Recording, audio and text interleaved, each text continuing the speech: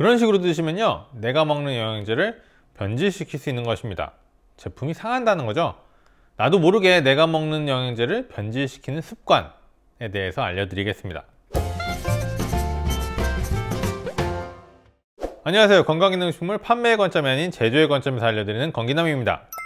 이번 시간에는요 소비자분들이 영양제를 드시면서 흔히 할 수 있는 실수 혹은 부주의에 대해서 말씀드리겠습니다. 지금부터 말씀드린 것들은요 제품의 변질로 이어지는 경우가 많기 때문에 영양제 드시면서 꼭 주의하셔야 할 것들이 되겠고요. 바로 시작할게요. 자, 첫 번째는요. 개별 PTP 포장된 제품을 드실 때 주의사항인데요. 보통 어떻게 드시죠?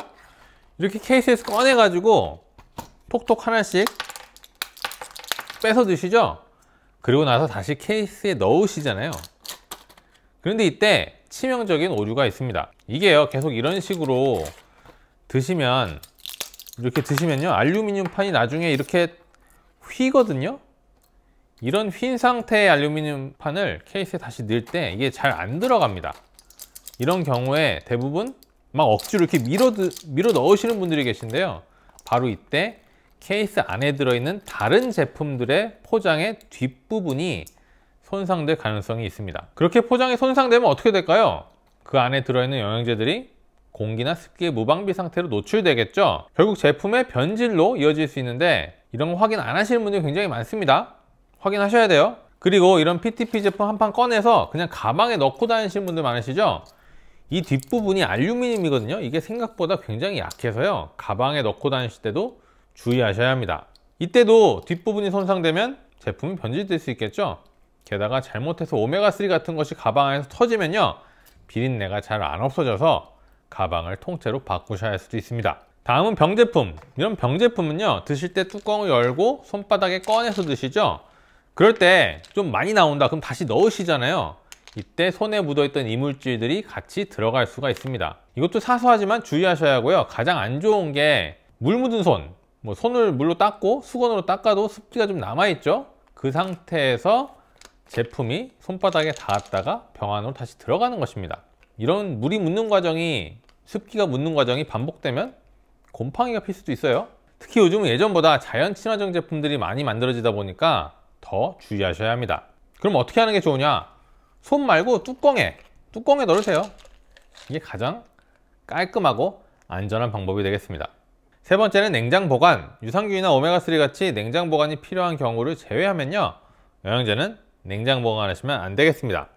기본적으로 영양제는요 고온 다습한 환경을 굉장히 싫어하거든요.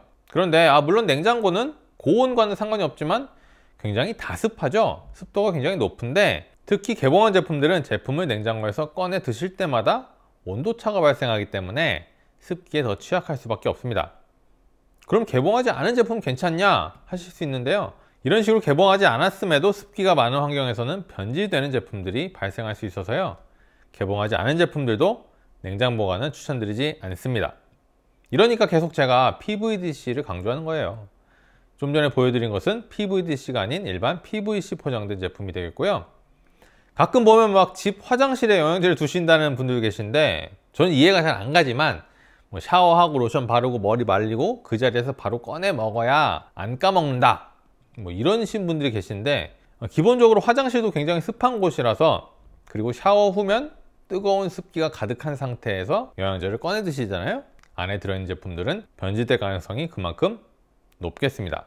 마지막으로 고온이나 직사광선에는 가급적 보관하지 않는 것이 좋은데요. 이건 너무나 당연하죠?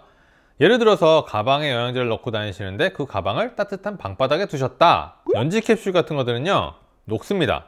녹아서 서로 들러붙어요. 그런 다음 다시 차가운 곳으로 나가면요 굳어버리겠죠?